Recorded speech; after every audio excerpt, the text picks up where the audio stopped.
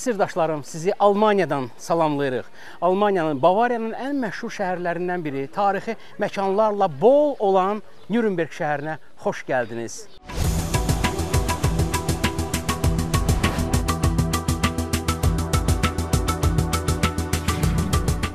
Ətrafda çox gözəl tarixi mülklər var və bunlar hamısı müharibədən sonra bərpa edilmiş mülklərdir.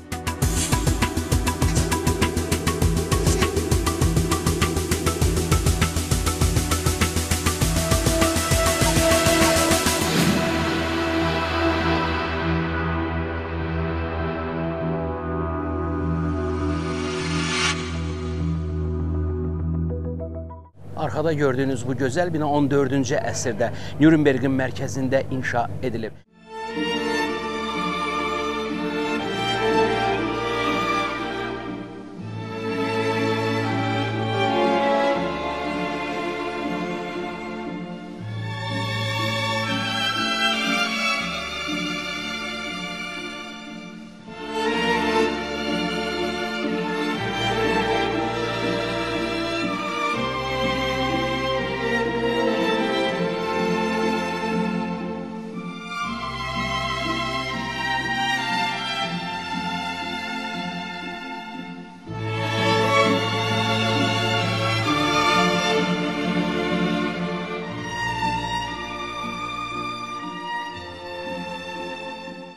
Bir qədər sonra zəng səslənəcək və saat 12-də həmin o mərasimə toplanan insanlar böyük maraqla tamaşa edəcəklər.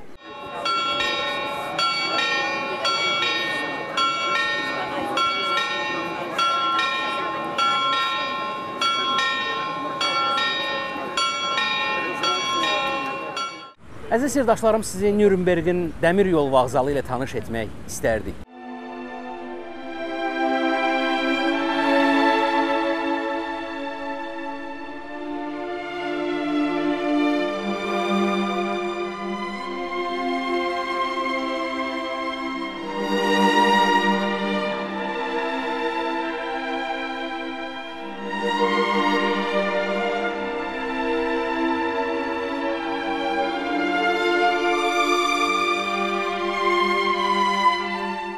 Dəhşət. Ancaq bu sözü söyləmək mümkündür. Nürnbergin kənarında olan yerli əhalinin Kolizey adlandırdığı Doku Center.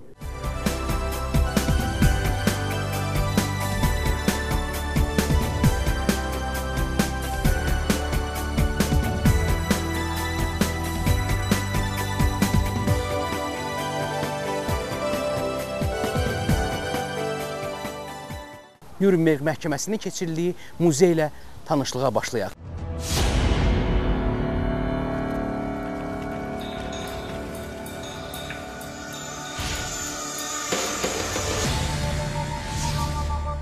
Bütün bu parklar insanlar üçün salınmış və insanların rahatlığı üçün nəzərdə tutulub.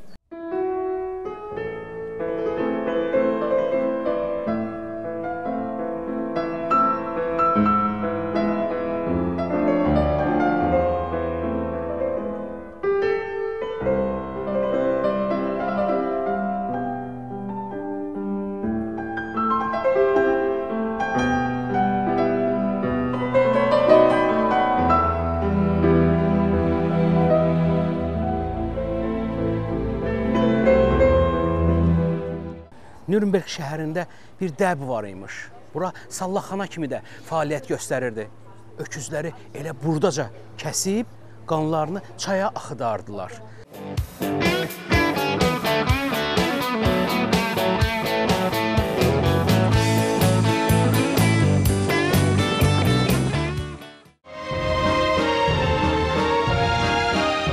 Alman binalarını həddindən artıq çox bəyənirəm və çox sevirəm. Arxada gördüyünüz tarixi bir binadır. Lorenz Kirxanın yaxınlığında düz üzbəüzündə yerləşmiş sonuncu yaşayış qülləsi kimi tarixə düşmüş Nassau House 12-13-cü əsrlərdə inşa edilib. 15-ci əsrdən etibarən Alman imperatoru Adolf Nassau'nun adını daşımağa başlayıb. Yeri gəlmişkən, məsələ 15-ci əsrdə də onun üzərində müəyyən dəyişikliklər olub və əvvəllər sırf Roma üslubunda olan bina sonradan gotik elementlərlə bəzədilib və e, gotik üslubda bizim göz önümüzdədir. Bu çox gözəl bir binadır. Üstündə günəş saatı da var. Amma nə qədər çalışsaq da günəş saatının hansı prinsiplərlə işləməsini hələ ki özümüz üçün ayırd edə bilməmişik. Amma diqqət yetirək Erkerə. 3-cü mərtəbədəki bu Erker binaya xüsusi bir gözəllik verir. Hər 3 künc tərəfdən binanın lap yuxarısındakı o eyvanlar da necə gözəl və nəfis işlənilib. Mülkün pəncərələri, üzərindəki heykəlciklər xüsusilə ona zövq, rövnəq verir. Bir sözlə göz oxşayan binalardan biridir. Və onu da qeyd etmək lazımdır ki, əziz sirdaşlarım, Nürnbergdə belə binaların sayı həddindən artıq çoxdur. Nassau House da onlardan birisidir.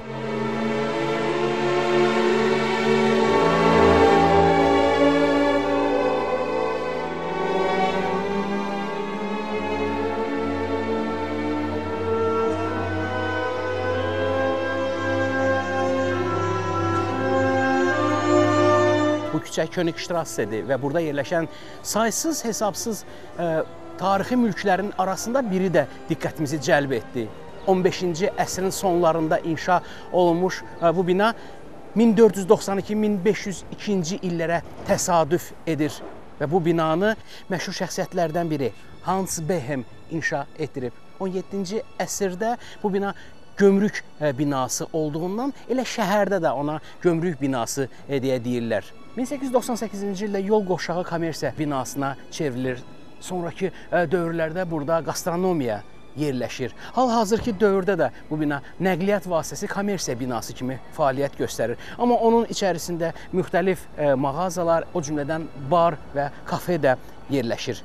Bütün bunlardan savayı bu binanı təkrarsız edən üstündəki o fiqurlardır. Nürnberg şəhərində çox nadir binalardandır ki, onun üzərində bax belə fiqurlar günlərimizə qədər qorunub saxlanıb. Və bir şeyə də diqqət yetirmənizi xahiş edərdim əziz sirdaşlarımız. Qeyd etdik ki, 1945-ci ildə bina tamamilə dağıdılıb və bina daşlarının üzərində tən ortalarında bir dəlik görürsüz.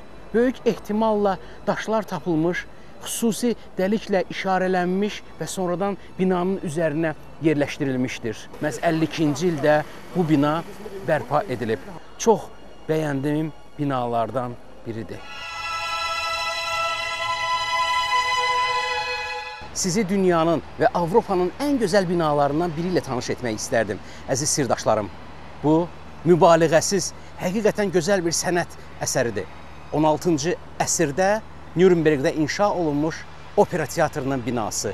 Üstündə 1901-1905 tarixi sizi azdırmasın. Məhz həmin o tarixdə bu binada bərpa işləri aparılıb. Deyilənə görə ən məşhur opera teatrları binası arasında ilk sıralardan birini tutan Nürnberg operası həm də 3-cü Reyxin rəhbərinin ən sevdiyi yerlərdən biri olub. O burada tez-tez konsert proqramlarına gələrmiş və yuxarıda gördüyünüz skulpturalardan biri onun ən sevdiyi skulptura idi. Opera teatrının binası həqiqətən çox möhtəşəmdir, çox əzəmətlidir və burada bir neçə arxitektura stilinin qarışmasının şahidi ola bilərsiniz. Sözsüz hər hansı stilə aid etmək lazım deyil. Sadəcə olaraq bu binanın gözəlliyindən zövq almaq lazımdır. Əzəmətli qapısı, qapı üzərindəki o mozaik işləmələr, qıraqdakı skulpturalar, abidələr bu binaya bir təkrarsızlıq, bir möhtəşəmlik bəxş edir. Onun pəncərələri, sütunları, bütün e, naxışları daş üzərində işləmələrindən saatlarla bəhs etmək olar və doymaq olmaz.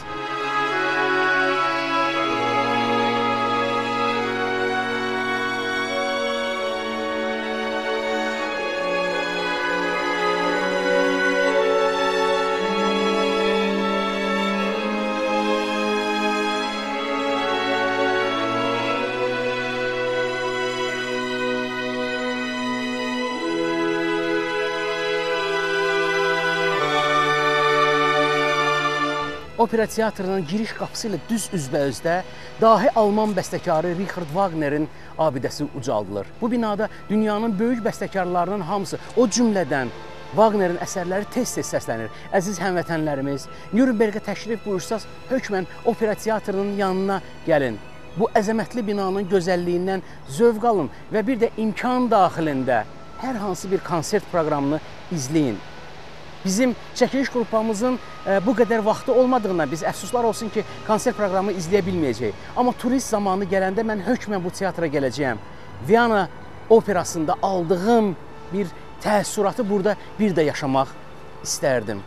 Bu yerlər həqiqətən çox gözəl və çox tarixidir və bu tarixi hökmən ziyarət etmək lazımdır.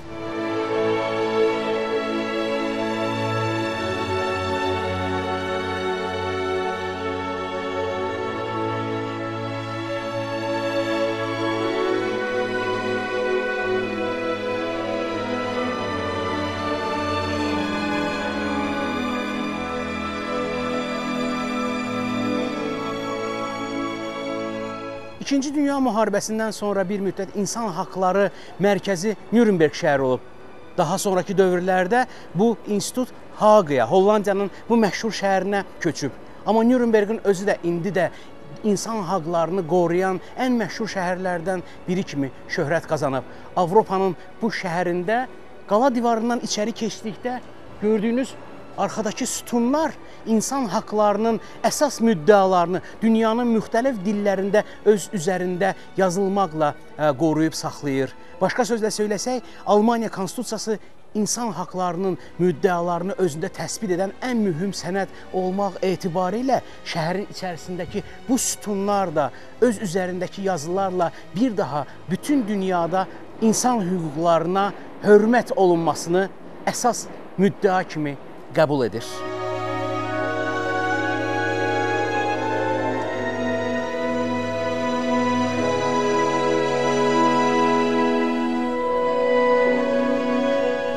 Almaniyanın paytaxtı Berlin olmasına baxmayaraq, Almaniyanın ən böyük milli tarix muzeyi Nürnbergdə yerləşir. Arxamızdakı bu bina Alman tarixinin bütün sahələrini özündə cəmləşdirib, Almaniya ərazisində fəaliyyət göstərən ən böyük Alman tarixi muzeyidir.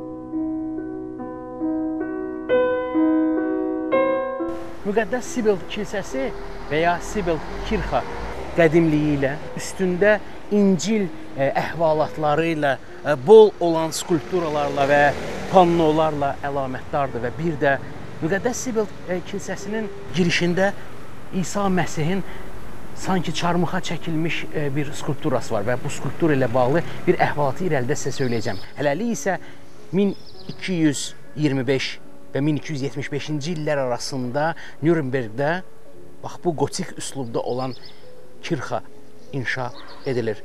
Nürnbergin ən məşhur kirxalarından biri olmaq etibarilə bura həm də insanların daha çox gəldiyi və ziyarət etdiyi dini bir məbəd idi.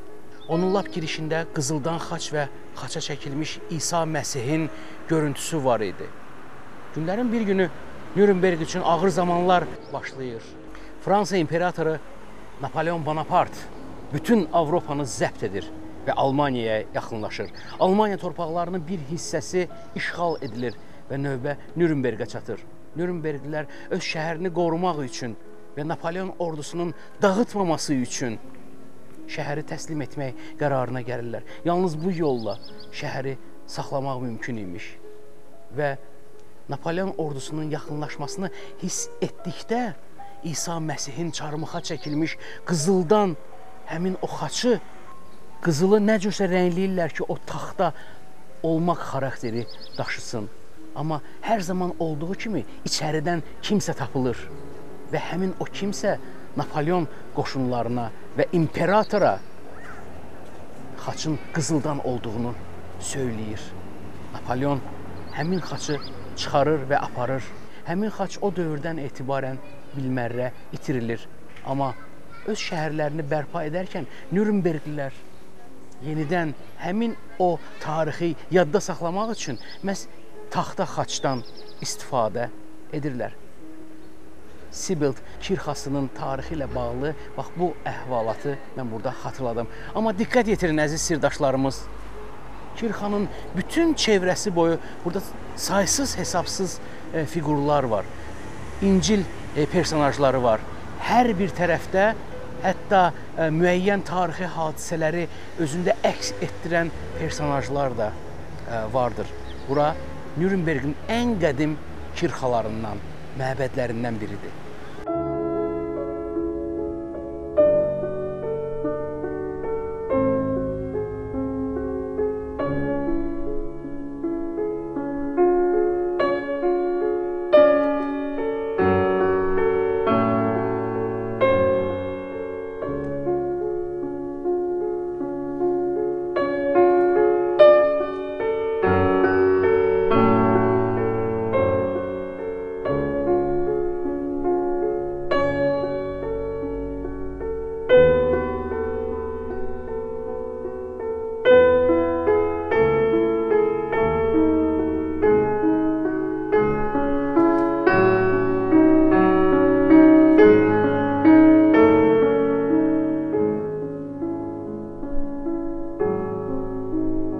Əziz sirdaşlarım, təbii ki, biz Nürnbergin bütün tarixi məkanlarını bir həftə ərzində, çəkiliş həftəsi ərzində sizə göstərə bilmərik.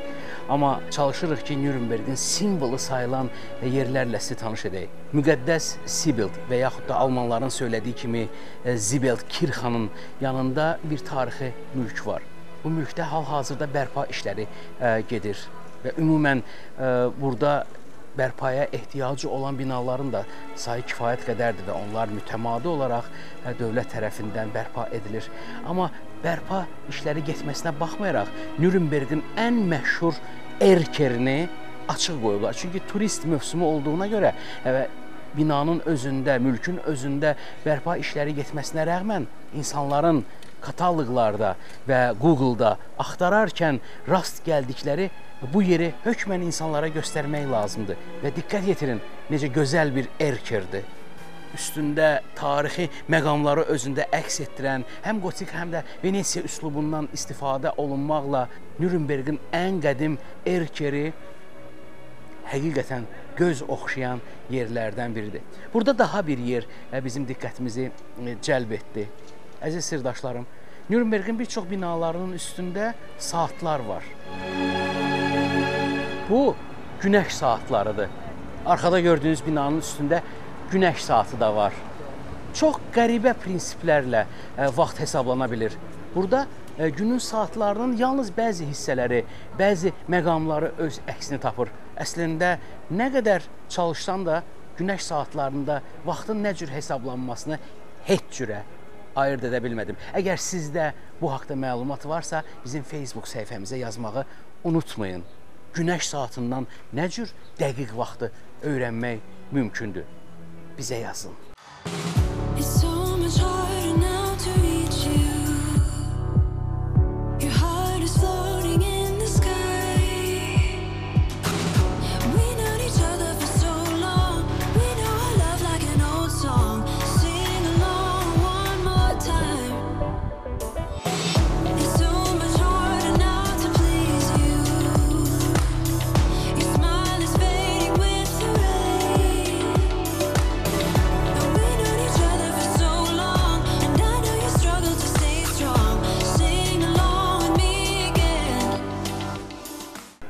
Zibel e, Kirxadan e, üzü Burq tərəfə qalxanda sizin qarşınızda iri meydanlarından birində e, bir abidə canlanacaq. Yeri gəlmişkən bu abidə Nürnbergdəki bir çox abidələrdən biridir. Amma o məşhur bir şəxsin abidəsidir. Albrecht Dürer. O Nürnbergin simvolları sayılacaq şəxsiyyətlərdən biridir. Ümumən söyləmək lazımdır ki, Nürnbergdə Alman tarixinin bir sıra böyük şəxsiyyətlərinə, dövlət xadimlərinə, alimlərə, adi cəngavərlərə və yaxud da tarixdə adı çəkilən şəxslərlə ə, yanaşı həm də rəssamlara ucaldılan abidələrdən biridir. Albrecht Dürer zəmanəsinin məşhur şəxsiyyətlərindən biri, ixtiraçı alim, rəssam, Nürnberg üçün əhəmiyyətli sayılacaq simvolları icad etmiş və ya onları yaratmış bir insan gözünüz önündə canlansın. Əlində fırçası, fikirlərində Dürerə məxsus olan yeniliyi açmışdı Alman incəsənətində və ə, e, mədəniyyətində qeyd etmək lazımdır ki, adətən rəssamlar bir o qədər də dövlətli insanlar olmayıblar, amma Albrecht Dürer zəmanəsinin ən zəngin və xeyirxah insanlarından e, biri kimi tarixə düşmüşdü. Bir az yuxarıda onun yaşadığı ev də vardır. Biz sizi Sirdaş komandası olaraq Albrecht Dürer'in evi ilə də tanış edəcəyik. Burğun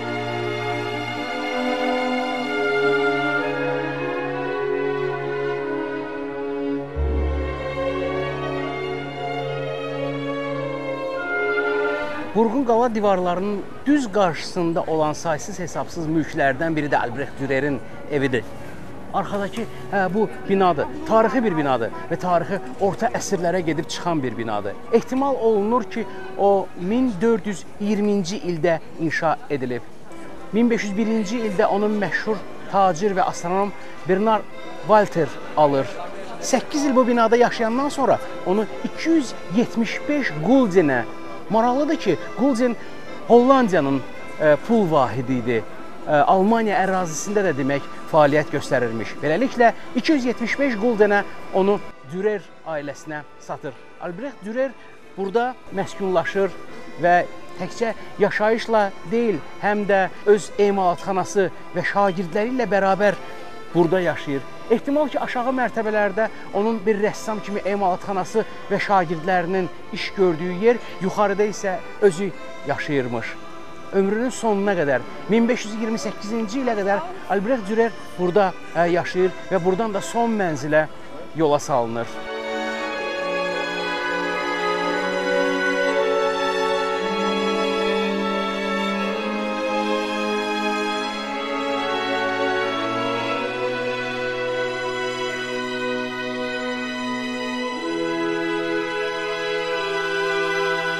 1528-ci ildə Nürnberg şəhəri Albrecht Dürer'in vəfatından sonra evi alır və burada onun xatirə otağı açılır. Onun vəfatının 400 illiyinə həsr olunan zamanda isə ora muzeyə çevrilir və bu gün də Albrecht Dürer'in evi ən çox ziyarət olunan yerlərdən biridir. Burada onun əl işləri nümayiş etdirilir. Hər bir zaman Nürnbergə gələn insanlar Albrecht Dürer'in evinə gəlməyə can atırlar və bu tarixi bir məhəllələrdə yerləşən evdir. Gələn insanlar həm Albrecht Dürer'in evini ziyarət edir və həm də bu qapılardan keçməklə köhnə şəhərə daxil olurlar.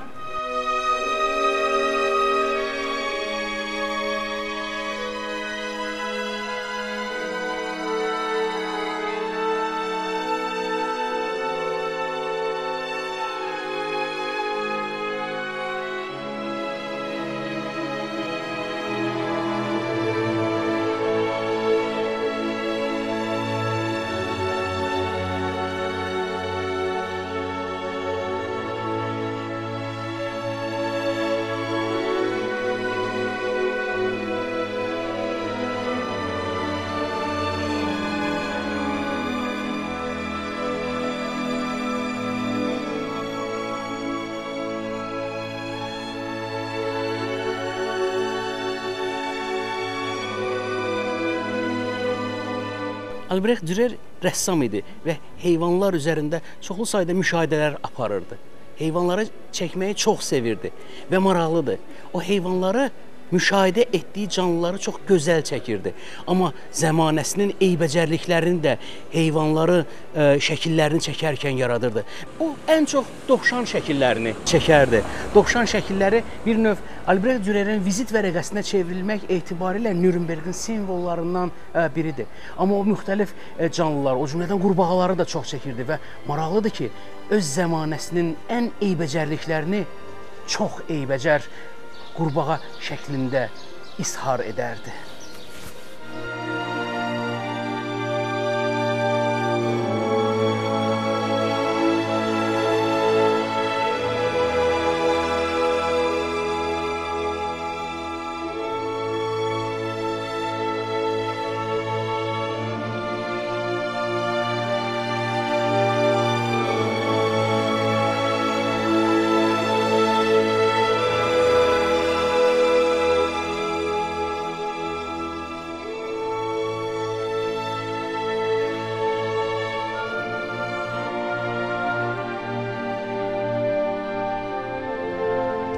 Əziz sirdaşlarım, görün nə dərəcədə maraqlı e, bir bərpa ilə rastlaşmışıq. Yeri gəlmişkən bu 4 mərtəbəli bina bir o qədər də gözə gəlimli bina deyil. Sadədir, amma sadəliyində də çox maraqlı gözəlliyi var və bir də üstündə olan güllə və mərmi yerləri indiyə qədər qorunub, saxlanıb. Hətta iri çaplı mərmilərin də yerlərini dəyişməyiblər və saxlayıblar. Və bir də böyük bir ehtimalımla sizinlə bölüşmək istərdim. Diqqət yetirirsiniz, ikinci və üçüncü mərtəbədə eyvanlar bərpa olunub. Çox güman ki, onların daşlarını tapıb naxışlarını bərpa edə biliblər. Amma dördüncü mərtəbədəki eyvana həm güllə yerləri çox dəyib, mərmi çox dəyib və həm də eyvanın ə, e, daş işləməsi bərpa olunmayıb. Çox güman ki, daşlar tanınmaz hala və yaxud da ələ gəlməz vəziyyətə gəldiyindən onu sadəcə olaraq belə çox sadə eyvan şəklində bərpa ediblər. Qeyd etdiyim kimi, almanlar öz şəhərlərinə Nürnberglilər öz şəhərlərinə hədsiz dərəcədə diqqətlə yanaşıblar və şəhəri daş-ba-daş bərpa ediblər. Amma tapılmadıqda və yaxud da mümkün olmadıqda bax belə bir üslubdan istifadə ediblər. Həqiqətən e, bərpa olunmuş e, şəhərdə belə binalara çox tez-tez rast gəlmək olar. Müharibənin izlərini özündə saxlayan hə, bu bina mənə çox təsir etdi.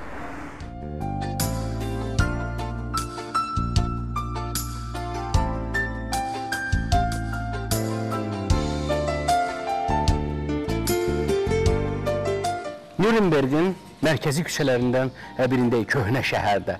Burada müasirliklə tarix bir-birinə çox gözəl ə, e, qovuşub. Diqqət yetirirsiniz, necə gözəl tikilidir. Və bura Nürnbergin sənətkarlar mərkəzidir. Bu küçədə orta əsrlərdə sənətkarlar yaşayardılar və öz peşələrinə uyğun olaraq işlər görərdilər. Burada ən çox ə, e, dəmirçilər və digər sənətkarlar məskunlaşmışdılar. Çox maraqlı bir yerdir. Hər bir evin üstündə yaşayan insanın fəaliyyəti ilə bağlı müəyyən stendlər və e, naxışlar var.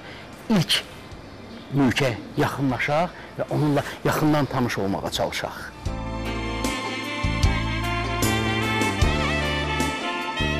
necə gözəl e, bu bina haqqında bütün məlumatları bax buradan e, bu ə, panolardan almaq mümkündür. İki qapı, ə, biri dükan üçün nəzərdə tutulub, yəni hazır məmulatları satılan ə, yeri üçün nəzərdə tutulub, digər qapı isə yuxarıya qalxmaq üçün ə, nəzərdə tutulmuşdur. Və bu binaların daha bir xüsusiyyəti var. Lap yuxarıda 4-cü mərtəbənin üstündə olan o çıxıntıya diqqət yetirin. Ən yuxarı pəncərələrin üstündəki həmin o yer blokla əlamətdardır. Aşağıdan yuxarıya yükləri qaldırmaq üçün bu bloklardan istifadə edərdilər. İp və qarmaq və beləcə yükləri yuxarıya fırladaraq qaldırar və lazım olan yükü pəncərədən evin içərisinə salmaq e, mümkün olarmış. Sənətkarlar məhəlləsində belə binalara çox tez-tez rast gəlmək olur.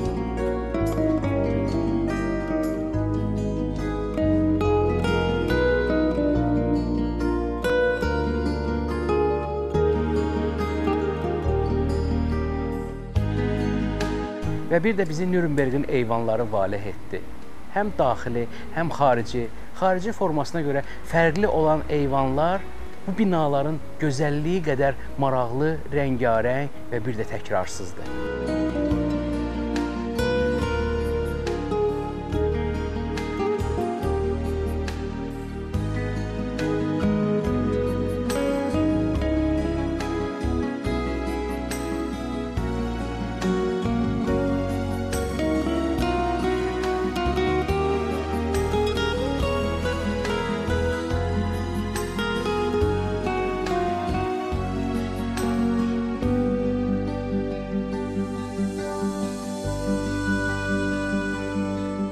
Nürnbergin mərkəzində olan binaların üstündəki iki atribut bizə çox maraqlı gəldi.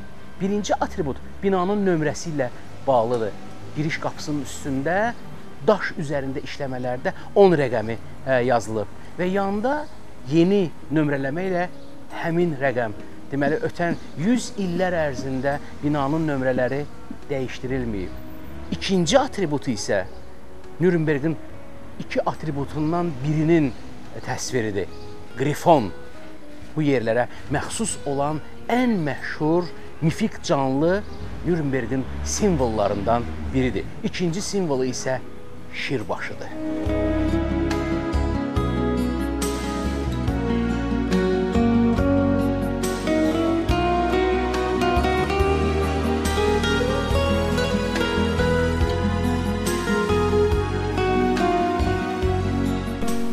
Nürnberglə vidalaşmaq məcburiyyətindən irəli gələrək yenidən bura gəlmək istədik. Çünki biz tarixi abidələrin çox cüzi bir hissəsini sizə göstərə bildik. Elə isə bura qayıtmaq üçün yenə də əlimizdə bəhanəmiz var. Fürsətdən istifadə edib gəlişimizi reallaşdıran, bizə dəvətnamə göndərən, çəkilişlərimizə yaxından yardım edən Bakı Nürnberg Mədəniyyət və Təhsil Mərkəzinə, onun rəhbərliyinə, qonaqpərvərliklərinə görə bizə çox böyük diqqət ayırdıqlarına görə, bütün çəkiliş prosesinə ə, qalmağımıza görə hər bir yardımı əsirgəməyən idarə heyətinin bütün üzvlərinə dərin minnətdarlıq bildirmək istərdik. Bu xoş anları davam etdirmək üçün həm Nürnbergə və çalışacaq ki, Almaniyanın digər böyük şəhərlərinə, tarixi məkanlarına yenə də səfər edək və yenə də sizi bu gözəl diyarla, bu tarixi yerlərlə bir daha yaxından tanış edək. Elə isə elə isə növbəti görüşlərimizə qədər. Almanlar demişkən Auf Wiedersehen.